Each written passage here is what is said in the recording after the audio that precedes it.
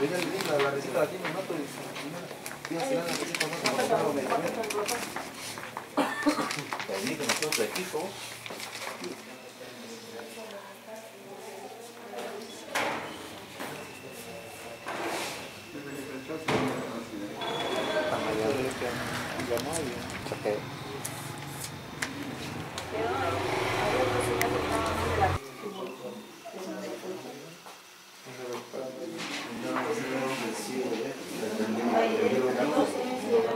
Decir que aproximadamente a las 7 de la noche un hecho de tránsito, un golpe a animales en la vía, aproximadamente a 3 kilómetros antes de llegar a Taperas. El producto de este hecho es un NOA de, de la propiedad del sindicato de transporte Roboré, colisiona con, con, los animales y producto de este hecho hay personas lesionadas. Gracias a Dios no tenemos que, de siete personas que venían en el NOA, no tenemos que lamentar ninguna pérdida de alguna familia o de algún familiar. En este momento este, la, la ambulancia y el hospital Bernardino Gil Julio se encuentran haciendo la atención eh, primaria y para que pueda salir el diagnóstico, pero aparentemente eh, son solamente golpes, gracias a Dios. Eh, en este también ahora se encuentran los dirigentes de la Asociación de Transportes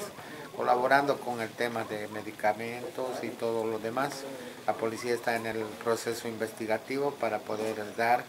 con los dueños de los animales y de esta manera poder sancionar y tomar algunos recaudos sobre ese tema. Estamos esperando un informe médico, pero uh, aparentemente dos personas que estaban con, con, mayor gravedad están siendo atendidas, pero eh,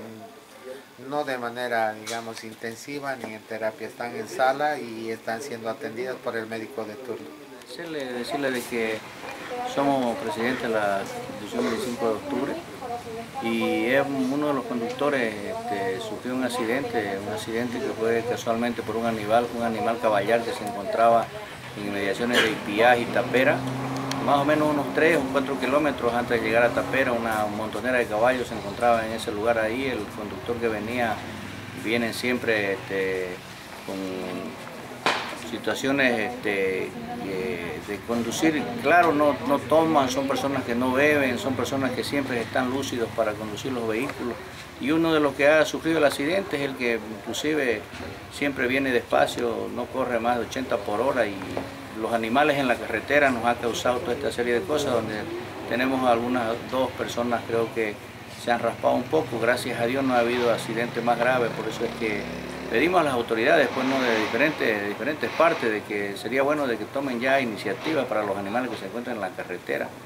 Todos los transportistas y la gente que va, que no es transportista, igual hemos sufrido hartos accidentes y es bueno de que ya tomen una medida clara para todo esto. Hemos llegado desde, desde casualmente para dar el apoyo a las personas que están lastimadas, que están heridas, que vemos que no es de gravedad, sabemos que no es de gravedad, pero sin embargo nosotros siempre este, cubrimos todas las necesidades que hay porque esa es nuestra misión como,